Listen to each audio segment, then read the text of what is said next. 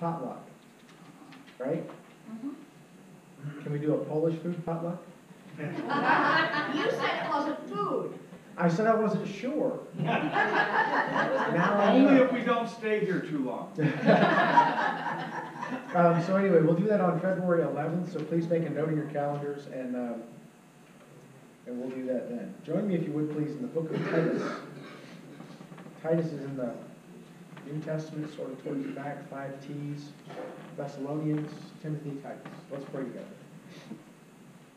Father God, I thank you so much for this body, Lord. I thank you for the, the warmth that they have as a community, Lord. I thank you for the genuine love that exists between these folks, Father. I love them, Lord. And I know they love me too, and I thank you for that, Father. I pray, Lord, that in, in the spirit of love and community, we, we hold tight to doing what's right. Help us, Father, just to, to navigate difficult situations, Lord.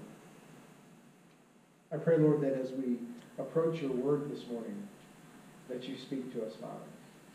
That we be changed not as, as a result of a, a good sermon or a great worship set, Lord, that we be changed because of your word and because of your Holy Spirit speaking into our hearts, Father. Show us where we need to grow and show us who we need to be. And I thank you, Father, in Christ's name. Amen.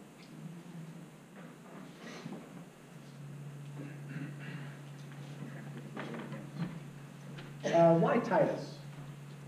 Why, why Titus all of a sudden? You see, we've been working our way through John, and uh, as we've approached the new year, I thought, okay, we're going to take a little bit of a break. We did some Christmassy stuff. I hope you had fun when we went and worked with, uh, with Rise Baptist. Uh, that, that was fun. I think it was. the No, choir it's was not. very good. You're not Are you, are you Not on? on? I don't think so. That or you need batteries. I have a green light now. Yeah. Okay, never mind.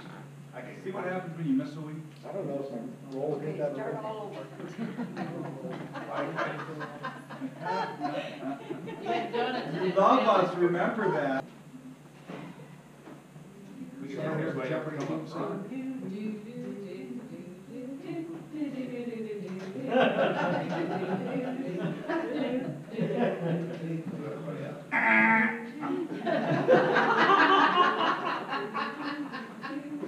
Take the batteries out of the remote. That's what we do at my house, right? You do that at your house? You need some double A's. Now my grandson is at the point where he's learning that batteries live in the remote, so when he needs batteries, he takes the remote apart. That's my grandson. Oh, my boy. While he's looking, can you, can you hear me okay if I just talk really loud? From down here to the middle, more loud. From down here to the Yeah. You just gotta move the Yes, camera and. And everybody else can move up. No? We'll just, how about now? Can you hear me now? Yeah. Feels like a kind of. Speaking of batteries the out of the remote. Yeah. the- the only thing I want to say is- Things you can do in small church. You know what I, what was interesting is that, uh, here I am at this quote-unquote larger church, and they had the same oh, kind of technical issues and, and, and bumps and all that, all that. Air kind of fountain stuff. outside. Yeah, I'm off camera. Yay.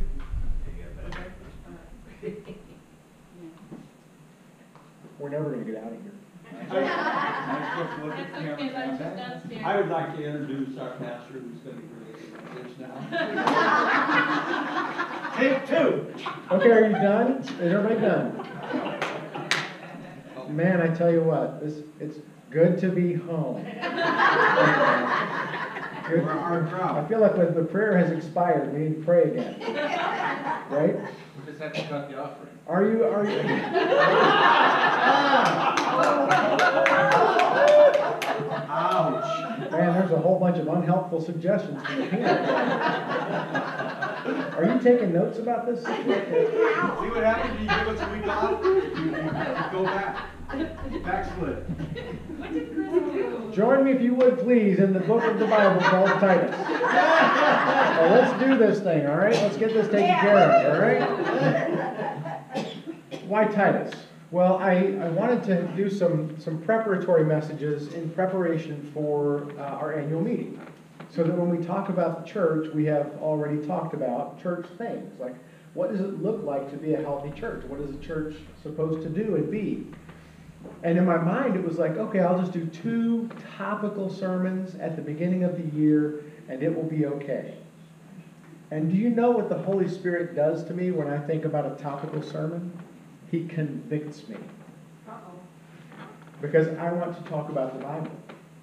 I want to speak not, oh, there's the Bible over there, and here's a bunch of verses that go together about a topic. I want to speak to you from the page of Scripture, because this is where I think God's authority rests in His Word.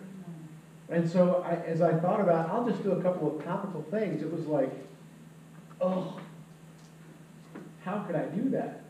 How could I do that to myself, first of all, and then to you?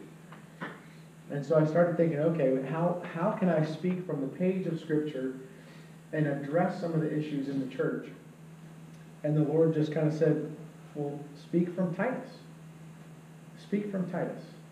Because Titus is one of those books of the Bible that deals with the church. And it's, uh, it's a great book. I've, I've done some work in Titus before, and I really enjoy it. So, uh, Titus chapter 2 is actually a big favorite. I used to assign this to students in a Bible interpretation class. And uh, so, Titus chapter 2 is a big favorite. I've looked at it a, a lot. And if I'm going to preach chapter 2, why wouldn't I preach chapter 1 and chapter 3 on the ends of it? So, for January, what we'll do is 1, 2, 3, assuming we get anywhere near through chapter 1 today. At the rate you guys are listening, it's going to take a while. We'll do chapter 1 this week, chapter 2 next week, and then chapter 3. And Titus addresses issues of the church. So, moving to the actual introduction here, why Titus? Because it talks about the church. One of my favorite books uh, is a book called Endurance by a man named Alfred Lansing. Endurance is about Ernest Shackleton's journey to Antarctica. Now, you think it's cold here, think about Antarctica for a minute. And think about making this journey in a wooden ship. You'd have to have a specially designed wooden ship to deal with the ice. And this is like 1915. So think about 1915. I know none of you were there. Some of you were a little bit closer than I was. And you're in a sailing ship. Now, there's a steam engine on the boat, but it's a sailing ship. And it's going to Antarctica. How do you get help? You don't. There is no help to be gotten. You have to be absolutely self-sufficient. Well, as the, as the boat gets into the Weddell Sea, uh, it gets trapped in the ice, and it gets crushed pretty much to matchsticks. Uh-oh. That's your ride. And your ride has now been crushed. So the, the men were able to get supplies off the ship. They were able to get the 21-foot boats off the ship. So now they have to go overland and over pack ice to a remote island, a remote corner of Antarctica. And then they have to send three men in a 21 foot boat on an 850 mile journey using manual navigation tools. You know, you think sextant and, and star positions and all that kind of thing. And if they're off by just a little tiny bit, one way or another, what happens? They're gone. They're just gone. What is the ocean like at the bottom of the world? You see, there's nothing to stop it as it swirls around and around and around. It's the most hostile piece of ocean you could ever be on. And can you imagine trying to hold an instrument on the deck of a 21 foot boat doing this to catch a star position and measure where you are? It's a little intimidating. I think no thank you. They left 22 men behind to wait for rescue as these three men left in this small boat. They had a goal. They had a desperate goal. Missing by even a little bit would doom all three men on the boat and all 22 men left on the beach. They had to keep at it. As you, as you read through this book, you see their, you can see their journal entries kind of day by day. And they had to fight discouragement. They had to fight each other. They had to eat the sled dogs. I mean, just over and over, there's these situations that you just can't even imagine. And then when the guys get to, they actually made it to the island that they were shooting for, and they were on the wrong side of the island. They couldn't, they couldn't just take this boat and like start the motor and go to the other side of the island. There was no motor, it's a sailboat. Well, they had oars. They had to go over land. So they hit the side, the, the wrong side of the island. They had to go over land, glaciers and such, to get to the whaling station where they were finally able to get help and go back and get those men. They had a goal, they had to keep at it, and they needed feedback. They needed to keep checking their position as carefully as possible to make sure that they arrived at the right place. You know, when I think about the early church, the early Christian church in the first century, the outcomes were uncertain. You see, uh, Christianity wasn't a legal religion when it first started. Right?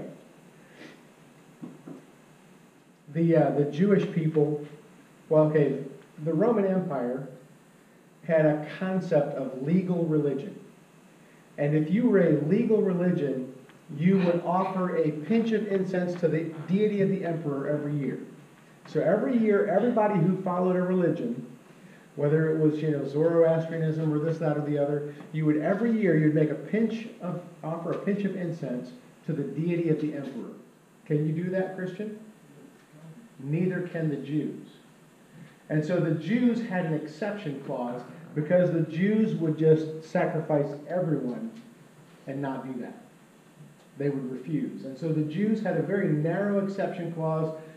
The Jewish people did not have to offer that incense to the emperor. When Christianity began, they, they were seen as a sect of Judaism. Okay? So the Baptists are a sect of Christianity. The Brethren are a sect of Christianity. For a while, Christianity was seen as part of Judaism. How would the Jews feel about that? No, thank you. And so they began to distinguish themselves from the Christians. So now Christians were operating an illegal religion in the Roman Empire. Well, the Roman Empire is known for its warm, friendly, open relationships with people, right? They're known for tolerance and inclusivity and come on, kumbaya, everybody. No, this is the Roman Empire. You will do what the Roman Empire tells you to do. So you have the Jews trying to get rid of the, of the Christians. I mean, they're trying to get them to sleep with the fishes. And the Romans were sporadically trying to get the Christians to conform with their expectations.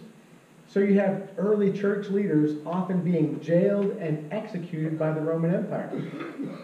How would you like to build a religion when your leaders are being hauled off to prison? That's tough, right? Hey, come to our church. It's great. Yeah, our pastor just got arrested. Oh, what did he do? Something bad, right? And you think about the Christian religion is founded on the person of Jesus Christ who was executed as a political criminal in the Roman Empire.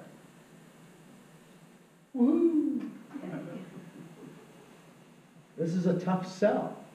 And yet people became Christians because of the reality of Jesus Christ, the reality of who he is and what he's done for us.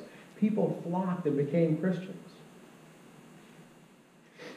So the Apostle Paul, who was uh, jailed frequently and eventually executed by the Roman Empire, wrote this letter to Titus, giving him guidance and authority to establish the church on the island of Crete. Titus is one of Paul's disciples and co-workers. He is a Gentile, not a Jew. He traveled with Paul, learned from him, and eventually was entrusted with several different tasks. He was actively involved in the administration of the early church, and Paul eventually sent him to the island of Crete, quote, to correct a deteriorating pastoral situation and appoint elders. Huh. Now, that's nothing like what I've been asked to do here. This isn't a deteriorating pastoral situation. But Titus was sent to Crete to, because, specifically because there were deep and abiding problems in this church. The people of Crete, uh, Crete is a challenging assignment because of the culture of the people there. A poet from Crete, yeah, that guy, described the people as always liars, evil beasts, lazy gluttons. The historian Polybius says this So much, in fact, do sordid love of gain and lust for wealth prevail among them, that the Cretans are the only people in the world in whose eyes no gain is disgraceful. As long as you made money, that's okay. That's what Crete was like. Crete sounds sort of like modern America, doesn't it? They're greedy. They're lazy. How would you like to go start a church there? Or fix a church there? Our ability to do the right thing is often conditioned by our friendship. So, what's happening in the island of Crete?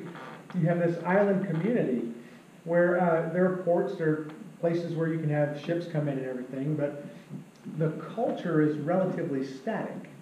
And it's bad because everybody's a liar.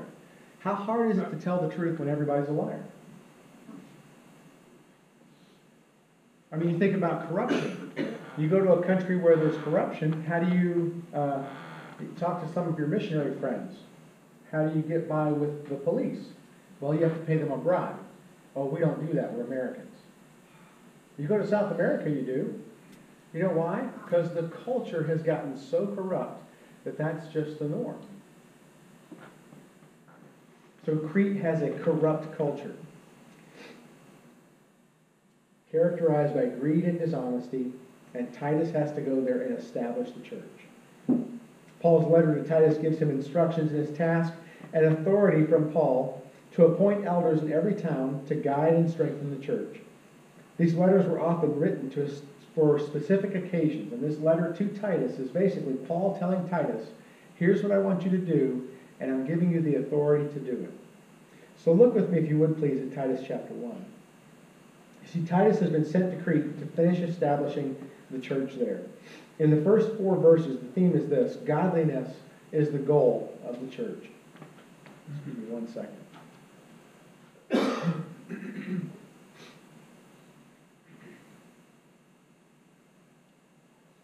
I'm fighting the cold and mostly winning.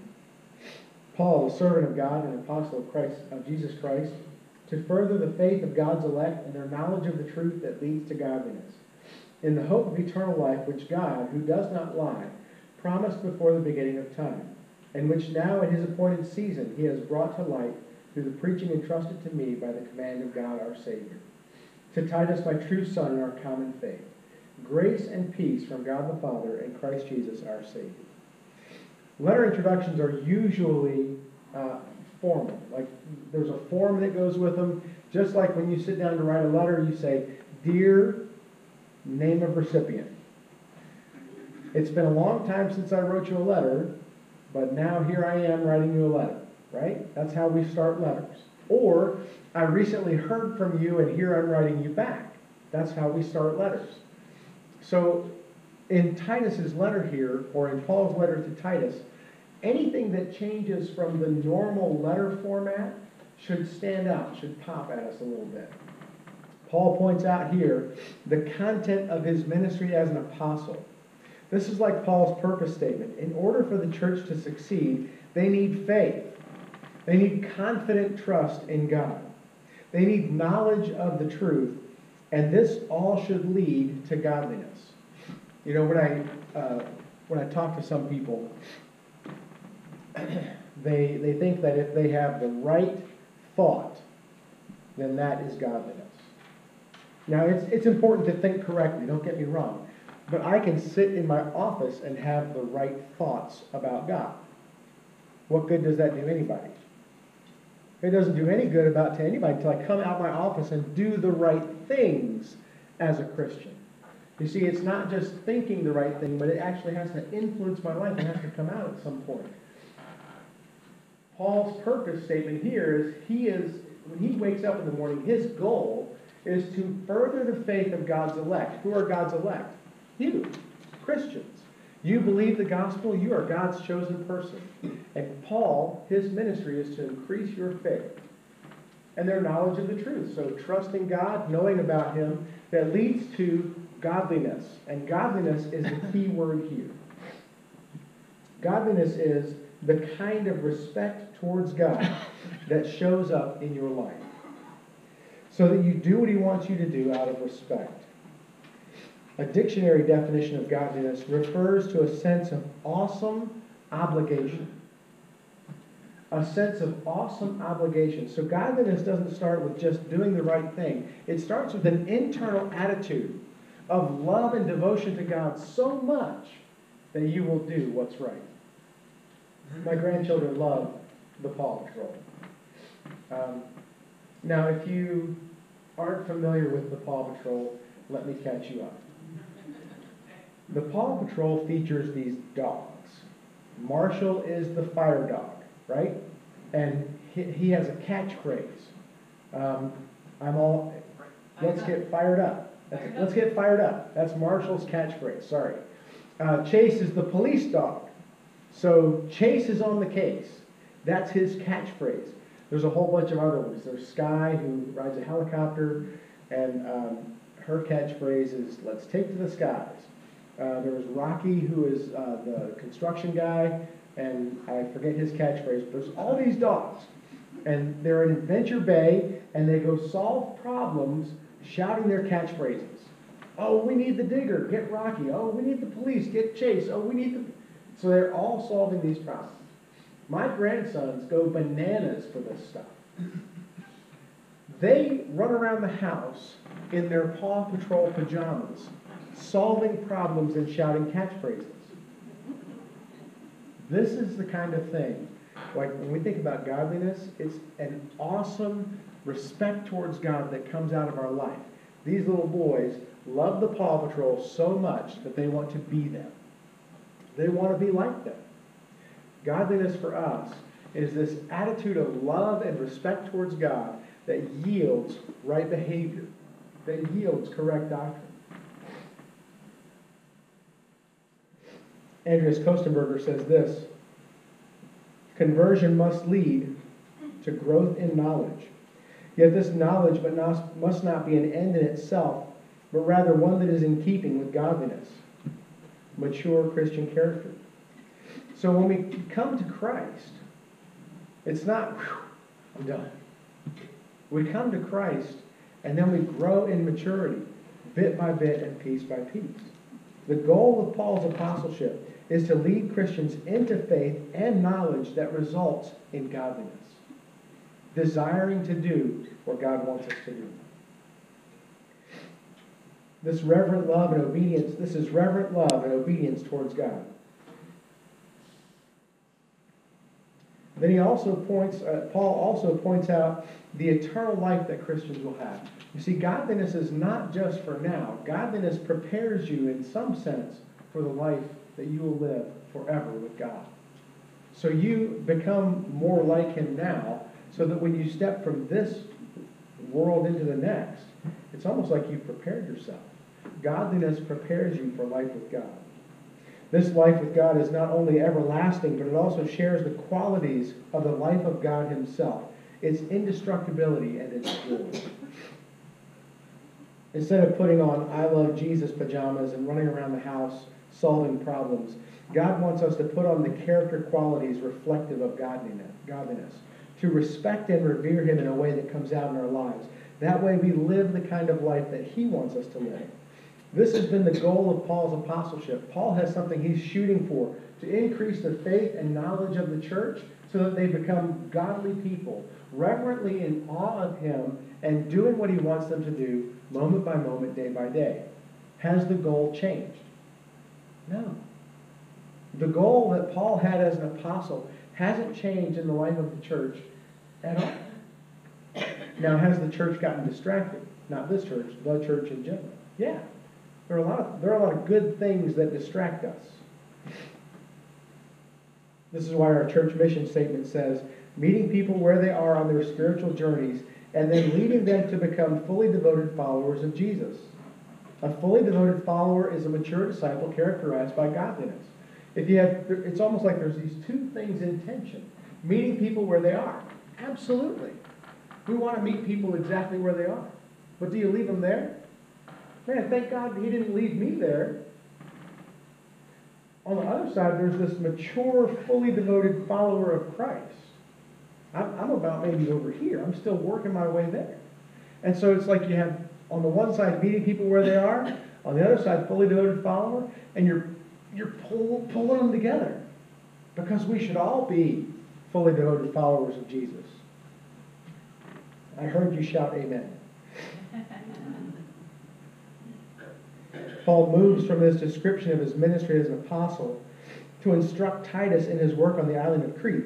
Titus is to set the church in order by appointing godly elders. Godliness is the goal of the church, and that starts by meeting people where they are and leading them step by step towards maturity and godliness. Take a look at verse 5, please.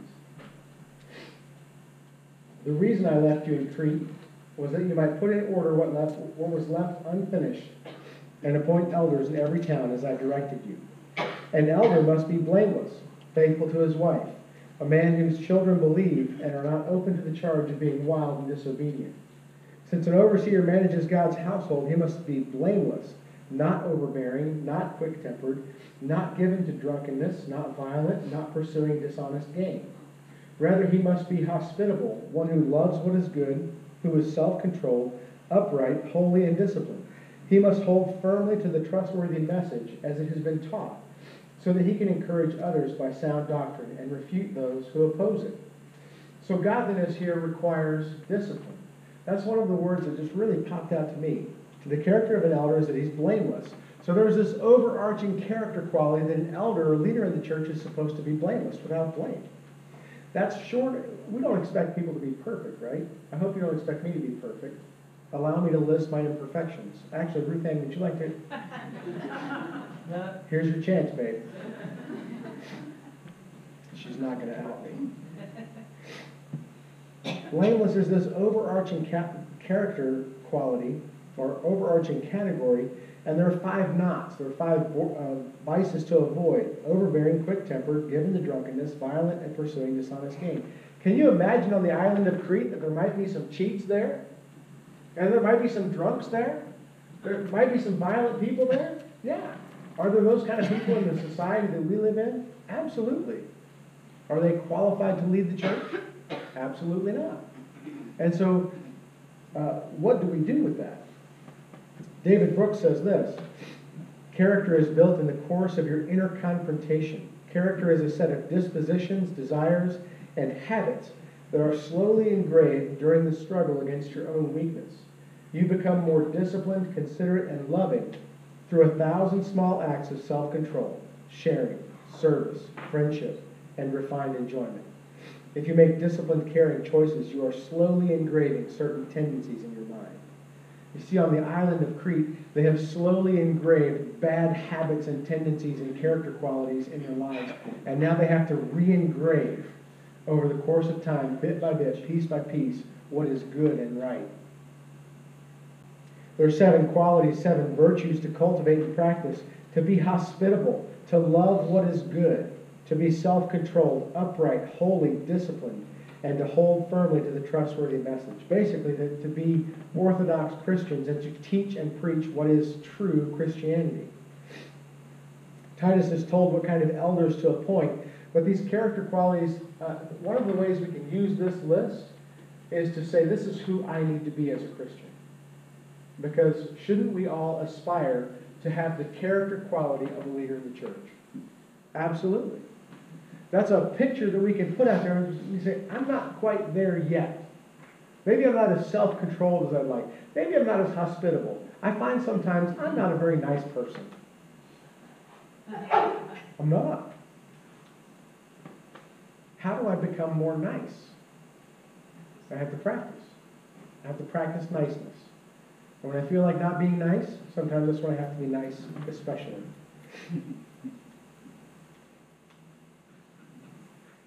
Paul doesn't tell Titus how to develop the character of an elder. Presumably, Titus already knows. But Christian authors who write about spirituality point out the importance of discipline. Uh, Richard Foster says this Once we clearly understand that God's grace is unearned and unearnable, and if we expect to grow, we must take up a consciously chosen course of action involving both individual and group life. Group life. It starts with having a goal in mind, it starts with setting a plan in order. Christian disciplines are not the end in themselves, but a means for God to work on us. Foster also says, God has given us the disciplines of the spiritual life as a means of receiving His grace. The disciplines allow us to place ourselves before God so that He can transform us.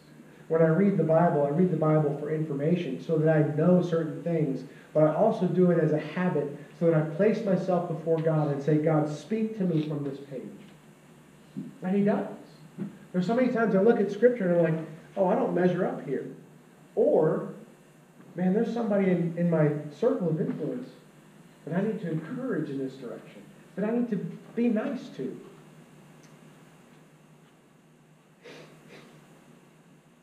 Oh, wow. These character qualities help us define the godliness that characterizes a mature disciple, and we are all called to be mature disciples. To reach a goal, you need to picture the goal. And as we work on the goal, we need discipline to keep at it. And then you need feedback to track your progress. Paul describes the character of an elder, which is identical to the character of a mature follower of Christ. We use this picture to establish the goal of Christian maturity for ourselves. You see, when those men were on that, on that little boat, they couldn't take a day off checking their position. They couldn't just be like, ah, it'll work out. No, because if they missed by just a little bit, if they slacked even a tiny bit, they'd be lost. The same thing's true in growing our Christian character. We can't slack off. We can't just decide, nah, I'm going to take a week off of Christianity. That's not Christianity. Christianity is moment by moment making disciplined choices and doing what God wants us to do. Not just individually, but also as a community. So that we have goals as a community that we look uh, that we try to achieve. The church has to appoint elders who are examples of good progress along the road to godliness, people we can look up to and get help from as we grow into fully devoted followers of Jesus. I look at these things and I think, where, where do I need to grow? And where do we need to grow? What are the character qualities I need to work on? I think about self-control. I'm thinking about self-control a lot. Anybody else in the new year decide to make more disciplined dietary choices? It's either that or I'm going to have to buy bigger clothes and just just rock it, you know, just just enjoy it. I've been eating salad, lots of salad. I had Polish food, yes, but I've also had to have lots of salad. And I tell you what, I love cheeseburger. You know, preaching to the DeKarskis now. That one back there. Eat it without the fun. Eat it without the, yeah. But it just comes back around to making disciplined choices. How do you lose weight? Folks, I lost 80 pounds as a, as a truck driver. How did I do it? Well, I had to start saying no. And I had to say no, and I had to say no, and I had to say no. That's just what you have to do. Why is godliness any different? See, godliness is the goal, and it requires discipline to grow towards it. It also requires correction along the way. Thankfully, there were. Um, uh, I use a little app on my phone called MyFitnessPal, and you record everything that you eat, and it tells you when you've eaten the wrong thing. And you can have friends. It's almost like a Facebook for your diet plan. And you can have friends who cheer for you. And when you log in a couple of donuts, you can have friends who can say, "Hey, man, what's up with the donuts?" Godliness is the goal. It requires discipline to grow towards it. It also requires correction along the way. Take a look at verses 10 through 16. For there are many rebellious people, full of meaningless talk and deception, especially those of the circumcision group. They must be silenced because they are disrupting whole households by teaching things they ought not to teach, and that for the sake of dishonest gain. One of Crete's own prophets has said it Cretans are always liars, evil brutes, lazy gluttons. This saying is true. Therefore, rebuke them sharply, so that they will be sound in the faith, and will pay no attention to Jewish myths or to the merely human commands of those who reject the truth.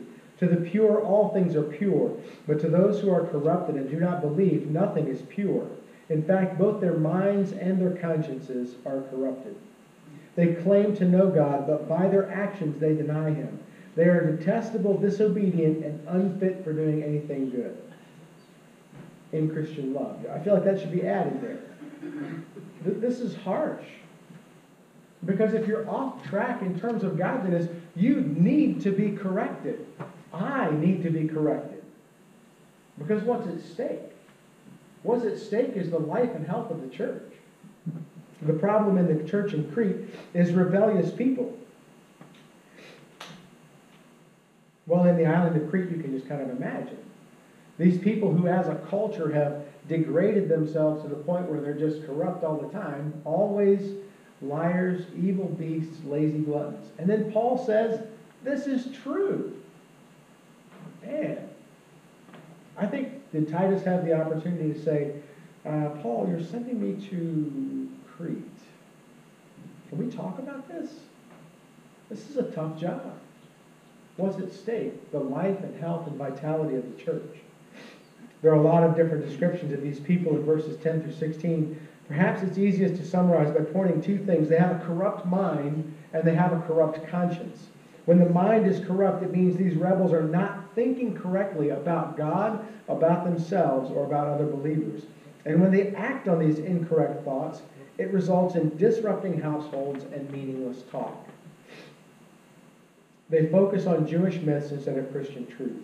When the conscience doesn't work correctly, a person cannot discern between right and wrong actions. They claim to, uh, I'm sorry, it results in cheating others for dishonest gain. They claim to know God but deny Him by, by their actions. The result is that they are unfit for good works. Imagine that you create a robot, but you don't wire its brain correctly.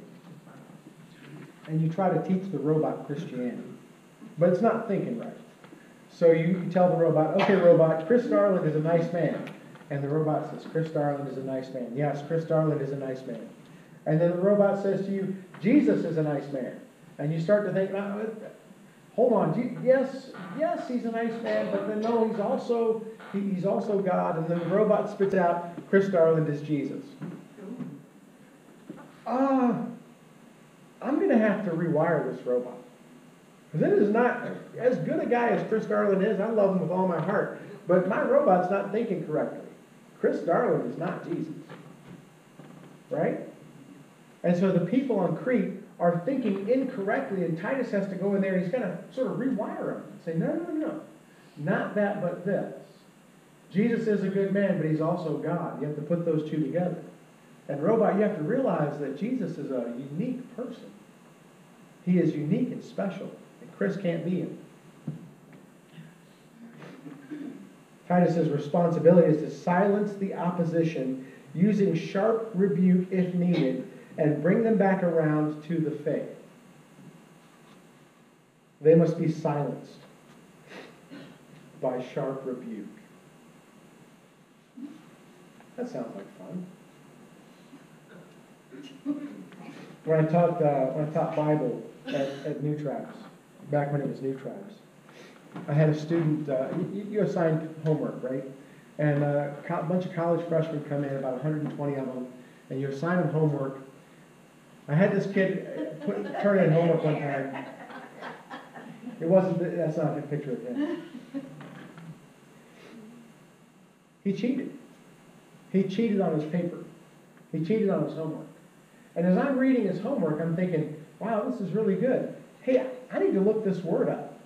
And then I start thinking about it. If, if I need to look this word up, how is this 18 year old kid coming up with these words? Hmm. Now, I, I happen to be a master of Google food. Okay? You take the first line of that paper and you type it into Google, and what pops up on the internet? All the best things. The whole, yeah, the whole, his whole paper came up, I mean, it was instant. It was number one search. So I had this kid's paper in one hand and the Google stuff on the other, and I'm like, this is identical. What did he do? He plagiarized. He copy pasted. All he did was take out all the references.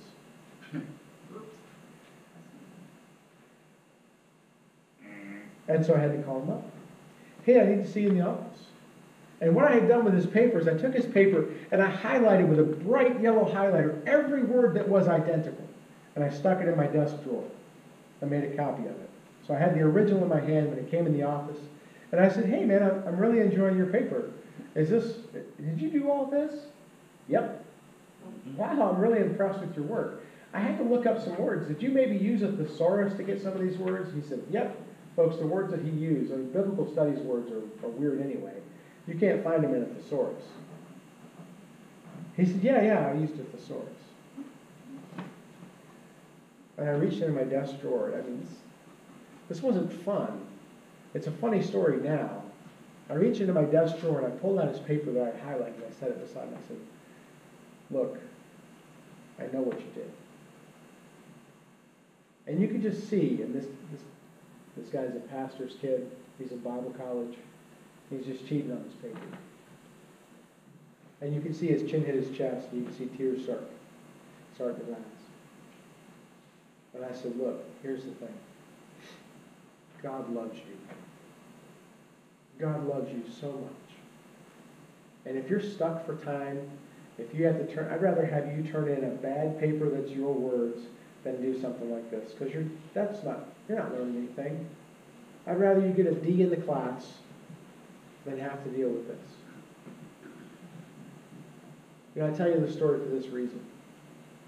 That kid took it to heart.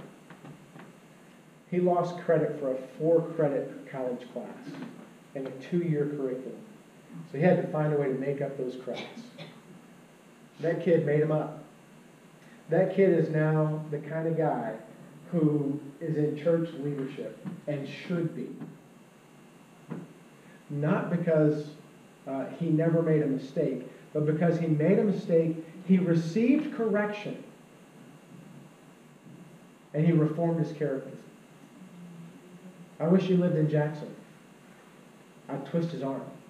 You need to come to this church. We'd love to have you. I tell you that story for this reason. It got his attention. He graduated, married, started a family. He now owns a successful business, a successful Christian business. And he's a leader in the church. He is an example of godliness. So, what does it look like to be sound in the faith? You go back to Paul's apostleship. To be sound in the faith, to be uh, a mature disciple, you have to be sound in the faith. You have to trust God. You have to have correct understanding of key theolog- theological beliefs that result in godliness, a reverent awe for God that shows up in daily life. With the goal of godliness in mind, we need the discipline individually and as a community to keep at it and the courage to accept con- correction whenever it comes. See, godliness is the goal, but it doesn't happen on its own. Godliness takes discipline. When Ernest Shackleton left with uh, left 22 men in Antarctica to make that 850 mile journey across the hostile ocean in a tiny sailboat, the outcome was uncertain. Just like when Paul sent Titus to the island of Crete to set things in order and appoint elders, the outcome was uncertain. But both men needed the same things. They needed a clear picture of what they were trying to accomplish. They needed to keep at it. And finally, they, they needed to stay on course through correction. You know, uh, modern American culture is getting more and more like the people of Crete. I, uh, I, I read uh, as part of my job. Uh, the, I actually have to fill out a report every year about what I read during the year. Um, and I've read several books that say the same thing. They comment on where American culture is. And one of the things that these books, three or four of them, have said the same kind of thing. That what's happening to American culture is that we've sort of lost the idea of God. We've lost that reverent awe for the Creator that leads to a change in actions. Our kids and grandkids are losing that. And so, what do we do? At, how do we, like, do we just go chase them around and hit them with a stick? It's not a bad idea. Maybe it's not the only idea. But I think when we as a community can understand that godliness starts with this reverent awe of who God is that comes out of our life and, and in what we do towards one another, as we become a community characterized by godliness, then it's a place where the world walks in and they say, This is different. What's different? You see, these kids are getting lost. They don't know what's right from wrong. And when they come in here and not get hit over the head with a stick, when we meet them really, honestly, truly where they are, and then show them an example of what it looks like to be that fully devoted follower of Jesus Christ, when we truly do that, then that's what God wants. That's the goal, that's the purpose of the church, to do that.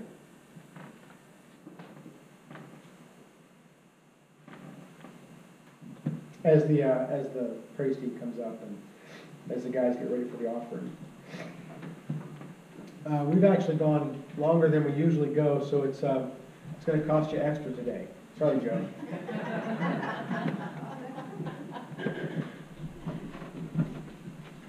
pray together and, and ask God to help us be godly people. Father, I pray that as we look into your word, uh, Titus had a problem on the island of Crete. And the problem was the culture that was around it. The people of Crete were difficult and hard to work with. And folk, uh, Lord, the, the people that we work with, the people of Jackson County, Michigan, is difficult to work with. The culture is slipping, Lord. And I pray, Father, you'd help us to be godly people. Not perfect people, but people in love with you so much, in awe and inspired by you so mm-hmm. much, that it comes out in our daily lives. That we seek to be the kind of people who would be qualified to be elders, Lord. Help us to understand this picture you put in your word. Help us to look into our lives and see where we need to change. And then, Lord, help us to make those changes. Father, I thank you so much for my friends. I thank you that it's, it's good to be home. I pray for those folks in the body who are hurting, those folks who have physical and spiritual needs, Lord. I pray that you be with them. And I ask that you bless this offering, Lord, that we would put it to good use. And we just praise you in Christ's name. Amen.